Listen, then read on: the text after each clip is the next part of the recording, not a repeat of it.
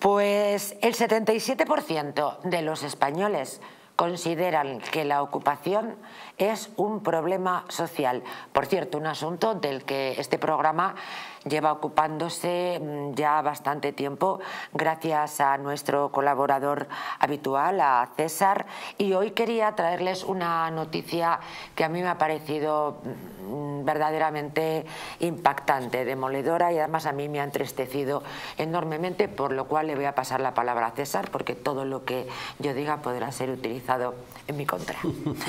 Em, ocupan una vivienda por favor, de una mujer con Alzheimer en Lugo. ¿Y saben lo que hacen? La anuncian en un portal inmobiliario. La hija de la dueña denuncia que se presentó en la vivienda minutos después de la ocupación, pero que la policía no se lo van a creer. No se van a creer lo que yo les voy a decir. La policía no hizo nada para evitarla.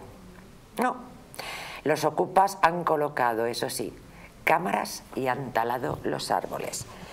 César, guardo silencio por mi propia protección. Solo imagínense que fuera su madre esta señora, ¿no? ¿Qué es lo que harían? Imagínense en cualquier escenario son temas dantescos. Hemos llegado en España, aunque es que es un 0,4, un 0,6. El tema es que se puede hacer eso, que no haya propiedad privada. Esto es una anomalía que pasa en España, en ninguna parte de Europa a estos niveles, y si salimos a Asia o Hispanoamérica, es que no nos entienden, no se lo creen. Independientemente de esta pobre señora, que es un disparate, póngase en el caso de sus hermanos, de sus hijos, qué es lo que harían, desde luego lo que sea nos llamar a la policía pues es que ahí tiene que haber derecho a la propiedad privada, tengas una o 50 o 500 o 600 viviendas. Ese mantra de la izquierda que es que es de un banco, que es que es de una casa, perdón, de una caja, es un absurdo. ¿Propiedad privada sí o no? ¿Para qué pagamos tanto impuesto? ¿Y para qué pagamos a policías, guardias civiles para que nos defiendan? Si es que la primera bocanada, yo se lo he contado a muchas personas que han tenido ese problema y no me han hecho caso, han llamado a la policía. Ha venido la policía y es que se les cae el alma al suelo, hasta que no lo viven no se lo creen. ¿Qué hay que hacer, hombre? Pues por supuesto, en vez de manifestarnos por algunas otras mamarrachadas, pues estas cosas son importantes, son cruciales, la propiedad privada hay que respetarla. Un matiz más, el que es fácil, es, corta, léanse la ley de la vivienda que han aprobado eh, hace poquito, hace poquitos meses.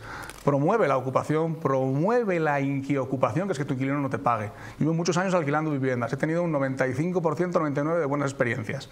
Y te entiendes con la otra parte, no cumplen el contrato, no pasa nada, si tienen que entre personas te entiendes. Pero la inquiocupación es tan preocupante como la ocupación. Llevártelo al tema judicial, echen números, pregúntenle a un abogado hipotéticamente, invéntense un caso, oiga, quiero consultar, me han ocupado una vivienda en la playa, ¿qué puedo hacer? Solo de la hipótesis se les va a quedar el alma al suelo. Así que insisto, esto de esto no me va a pasar a mí, pues lo decimos mucho y a veces nos pasa.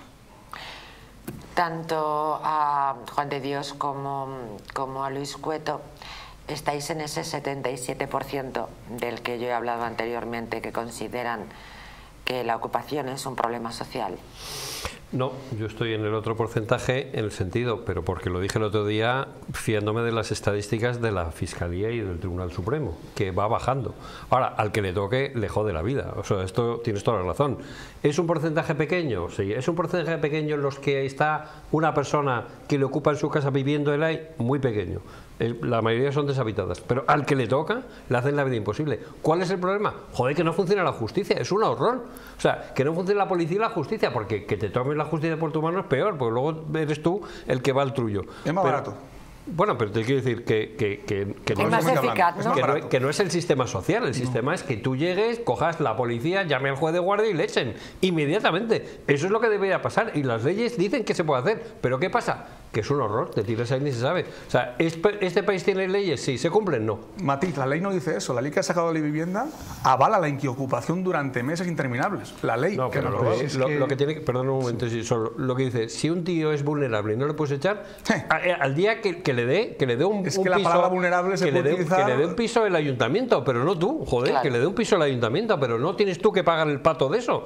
Échale y que le dé un piso al ayuntamiento. Pero la ley dice que hay que apoyar. pero entonces te tienen que pagar a ti el ayuntamiento porque tienes un tío que no te Debería ser así, pero la ley Digo que una está vez más, hecho. Una vez más, inseguridad jurídica.